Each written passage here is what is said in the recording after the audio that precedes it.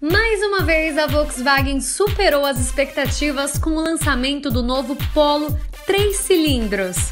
Um carro 1.0 que se comporta como um 2.0. Sua mecânica é derivada do Up e, mesmo com peso adicional, teve um desempenho similar. O responsável por isso foi o motor 1.0 TSI, que proporciona força para o carro nos momentos necessários. O nível de torque foi antecipado em relação aos primeiros ups. No nosso teste, avaliamos a versão mais completa. Seu câmbio automático tinha seis marchas e ainda permitia a troca manual. Um ponto que chamou a atenção foi que as respostas eram instantâneas, tanto nas marchas ascendentes quanto descendentes. Isso faz o novo Polo um carro extremamente esportivo. Quanto à economia de combustível, ela não deixou a desejar, porém esperávamos mais por ser um veículo equipado com injeção direta e superalimentado. Isso poderia ser melhorado com um aumento no número de marchas. Os coxins do veículo, ou seja, sua proteção contra vibrações, são melhores do que a do Up, o que proporciona uma melhor dirigibilidade. Esse Polo tem freios a disco e com dimensões generosas. Eles apresentaram eficácia durante o trajeto e não fizeram nenhum ruído característico das pastilhas que compõem seu conjunto.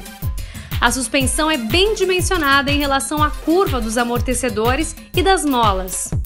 Além disso, a carga desses dois componentes é mais elevada e isso não compromete o conforto e ainda mantém boa estabilidade nas curvas acentuadas ou terrenos irregulares.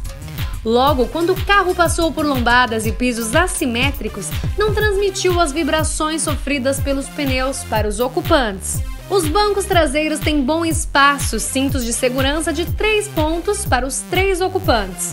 E uma das melhores partes é uma configuração especial do Polo brasileiro.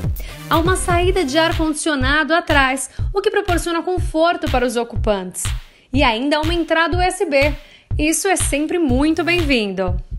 O banco do motorista também é confortável e tem opções de distância e altura. Seu painel é um show de estilo. Ele tem várias configurações e à noite o seu brilho aumenta. Porém, se isso fugir do gosto do motorista, existe a opção de escurecê-lo e apenas deixar o velocímetro visível. Uma boa decisão da Volkswagen foi colocar o CD player no interior do porta-luvas, o que não descaracteriza a tela de 8 polegadas do sistema multimídia. Seu GPS é eficaz, funciona por comando de voz. O porta-malas tem volume generoso e pode aumentar. A cobertura do step se desloca para baixo. A conclusão da equipe 100% motor foi que o novo Polo é um carro com ótima performance. Ele provavelmente fará os seus concorrentes repensarem os próximos lançamentos.